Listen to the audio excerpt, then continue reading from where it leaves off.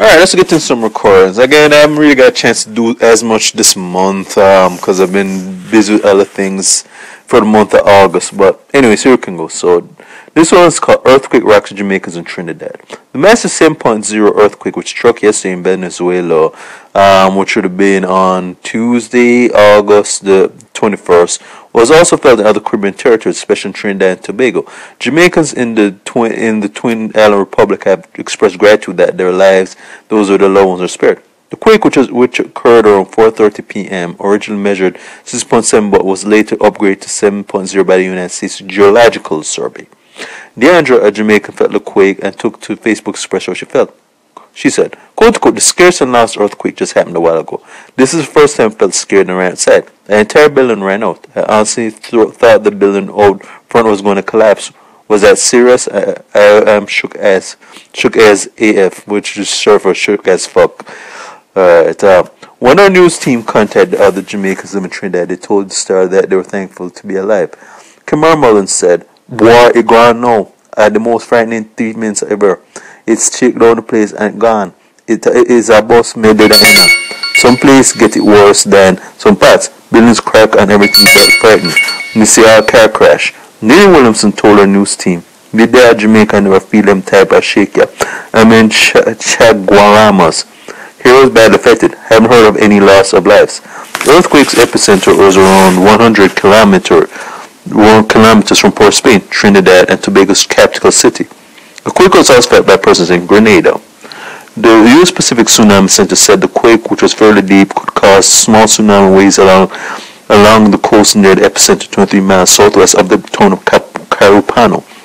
Magnitude 7.3 quake is considered major and is capable of causing widespread heavy damage, but the quake was 76.5 miles deep, which could have dampened the shaking. Alright, end the article. So, this was the earthquake yesterday, and from what it's seen here, that there, even though this was in Venezuela, that various other countries in the Caribbean basically felt felt the tremors right there. And if you understand how earthquakes work, uh, which work on a geographical scale, like of these seismic tremors um, um, can um, can happen in one place, but other places around in that region can feel it. Uh, so I'm thankful that um, don't know how many people got were were the casualties in Venezuela was. I'm pretty that people didn't get hurt. Uh, then that the casualties weren't that serious, apart from collateral damage of property. Um, but hopefully no one was, was seriously harmed. And alright, and praise go to those who who, who had to go through this. And I'm thankful that so that people up here in Trinidad and Tobago, that hopefully from I'm reading is that nobody was seriously hurt. So let's hope for the best and let's hope that they can recover from the earthquake. Because um, natural disasters do come from time to time, but we have to be sure that we are prepared um, for things like this happen. And sometimes you can't be prepared because sometimes it comes right to the blue.